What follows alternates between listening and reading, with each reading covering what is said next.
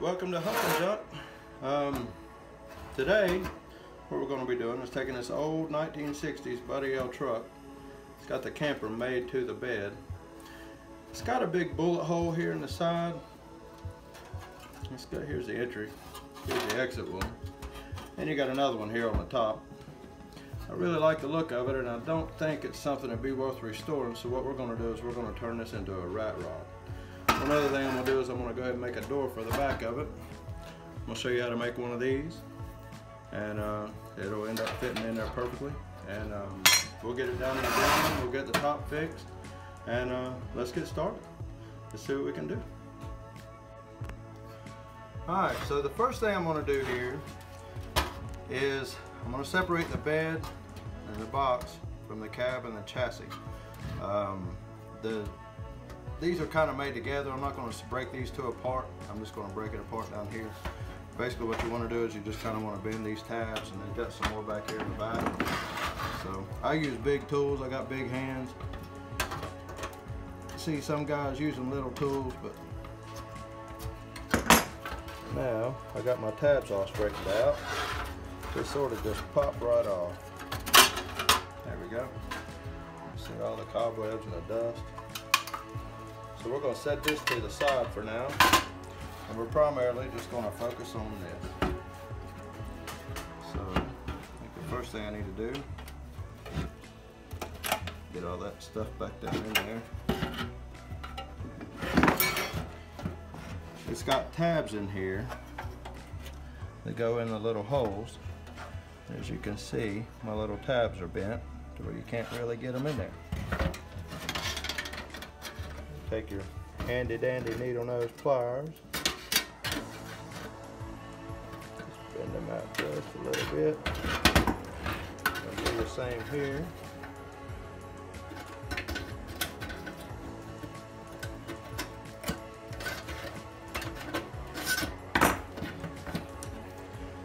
And then I've got a spot right there I kind of need to tweak on.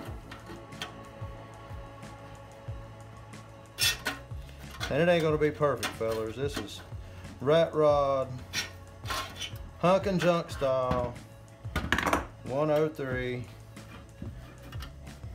We're gonna get that in that hole there.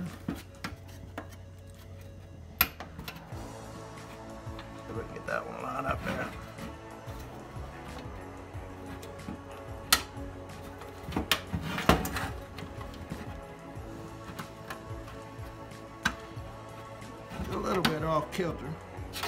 Maybe that'll do it.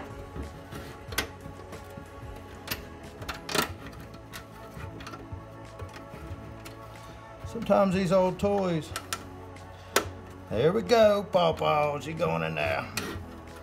Sometimes these old toys, over the 50 years that this old girl's been around, she's been shot, beat, stabbed, poked, and everything else. So sometimes they just, when they're like this, you just really got to show them some extra love. So sometimes it takes a little doing. I think that's going to be about as good as that one's going to get. So we got that shoved back down and uh, so now I think what we're going to do is let's go ahead and take care of this door issue. So this is what we're going to be making. Um, I'm going to grab some metal and get it cleaned up and I'll be right back with you. Um, Alright, so basically what I'm going to do here is I'm going to measure my door. Should be just around, just a little bit over two and a quarter. See it there?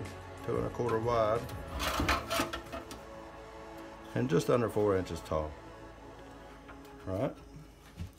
But now, whenever you make this, you gotta have a lip. So you gotta accommodate for that. So you gotta add to what you just measured. So what I'm gonna do is I'm gonna add a half inch all the way around. I got my little piece of metal. It's pretty much wide enough, it should work.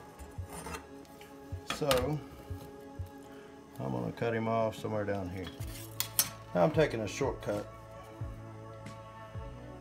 normally I would do this a lot differently.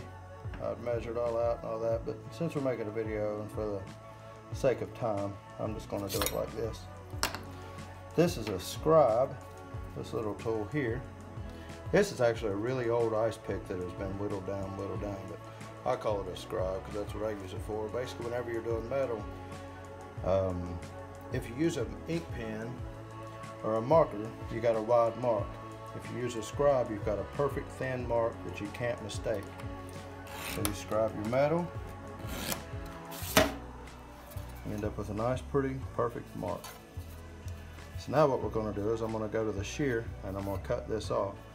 You can use these, but we're going to do it a different way. So give me just a minute and I'll show you how to cut it. So this is my three-in-one shear. Uh, basically what I have down here, this is where I cut. This is the shear.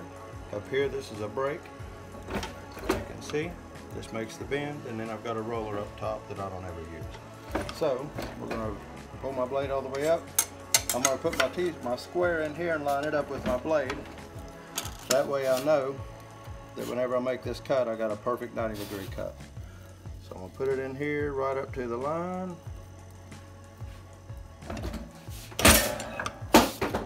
And there we go. Now we got a perfect piece of metal. I got my square piece of metal here and it's cut down, basically cut down the size to where it's going to be usable to fill our hole. So what I'm going to do here is I'm going to measure the width of my door, which comes out to be just over two and a quarter. So basically what I'm going to say is I've got three quarters of an inch that I need to cut in half, which is going to make three eighths of an inch. Three eighths is where I need to make my mark on each side. So I'm going to mark it at 3 eighths of an inch on each side. I'm going to come around here and do the same.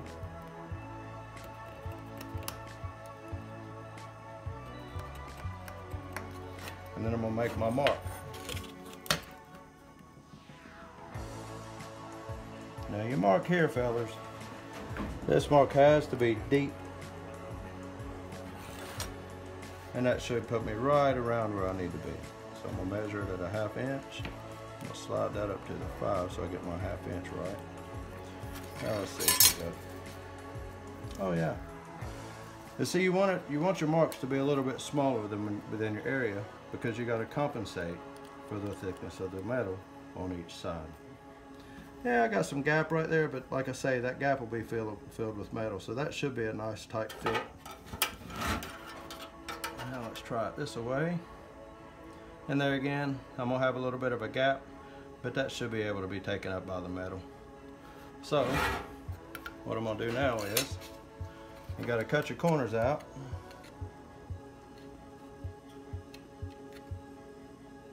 Problem with making a bunch of lines is, it's hard to remember which one's the right one. So we're gonna go with that one.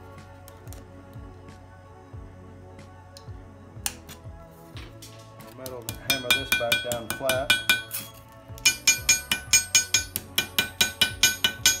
It's all got to be nice and flat. Now what we're going to do is we're going to come over here to the brake and we're going to bend up on that. So basically what I'm going to do is I'm going to get it down here as far as I can, bump it up. And that deep scratch I was telling you about earlier, you're to find that and it's to clip right into it. You'll hear it and you'll feel it. Pull the handle. There you go. Got a nice perfect bend. You come down here because I got to get my piece of metal in that gap.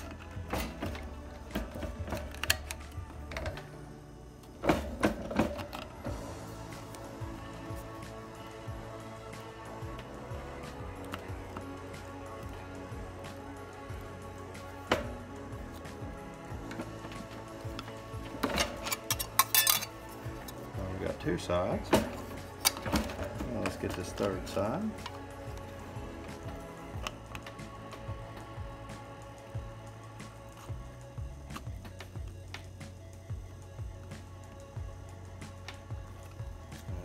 Groove. Got three sides.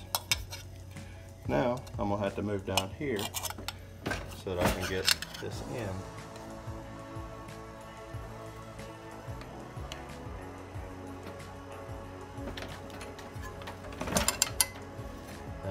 Nice box without a lid. This is gonna be our door. All right, so here we are back over here at the bench. We've got our old door. Now let's see if our new door fits the hole. Now if we're lucky, it'll just go right on through. Yep. So now I know I ain't got it too big. So let's see if I can put it in there and just kind of make it stay. Yeah, it's a little bit too little small, but we can fix all that. And it looks good in the hole. So now let's trim it up and make it look all good and stuff. All right, so basically what I'm gonna do is, I gotta cut this down, as you can see here. The thing about my brake, I can't make them small bends like that. I have to make big bends. So I make my big bends and then I trim them down to where I need them to be. So let's do that. Pretty simple process here at Hunk and Junk. Basically I just take my marker and I put it on my pinky and I rest my pinky on the top of my material right here. Rest my marker on my pinky and I just go right down the material. Make a nice, pretty, perfect straight line. And I'm gonna do that all the way around. Oh. Every time you can get a nice, perfect straight line. So I'm gonna come in right here. I got me a big old lip hanging out. So I'm gonna come in here. I'm just gonna go right there. I can always take off more. I don't really feel like I need to put these big tabs on there like that because the hole is up here in the front. So I'm just gonna leave it like this. So there we go. Now we've got our door made. Now I'm gonna trim up the sides a little bit or clean up the sides, clean up the face. We'll put a hole in it and uh, we'll see how she fits.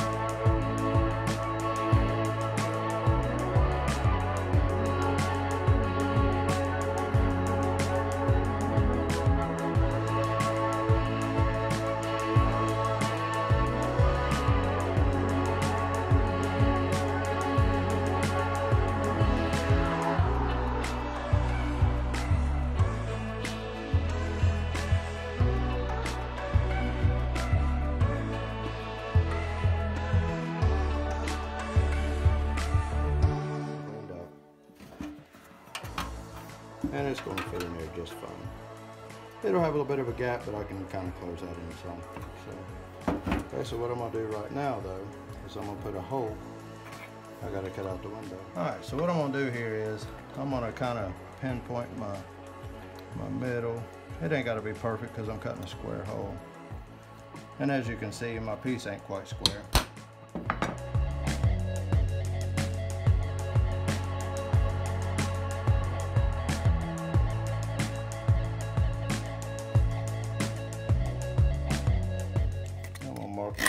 Me a line there with my scribe. And I'm gonna come over here.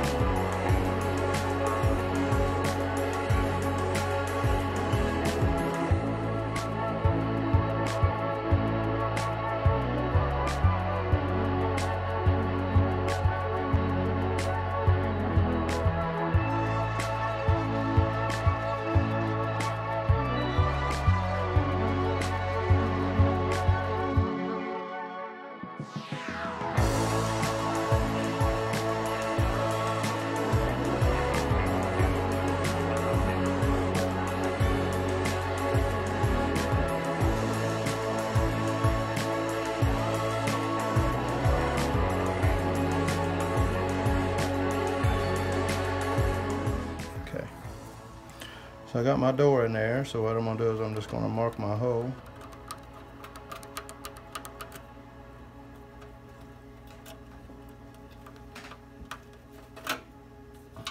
Here's my little mark. So I'm gonna poke me a little hole right there.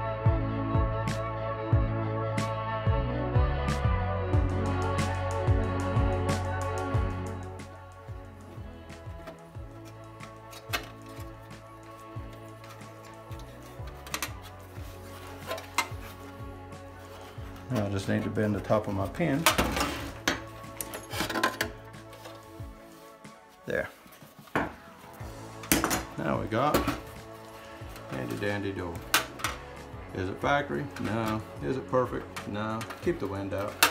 And it fills the hole. So, now we got our door, we got our bumper. Now let's see if we can't go about lowering this truck and making it cool.